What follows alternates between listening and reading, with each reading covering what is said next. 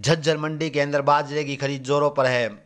जिन किसानों का अभी तक नंबर नहीं आया है, उन किसानों को लंबा इंतज़ार करना पड़ रहा है। वे किसान बार बार विभाग के चक्कर लगा रहे हैं कि अब उनका नंबर कब आएगा।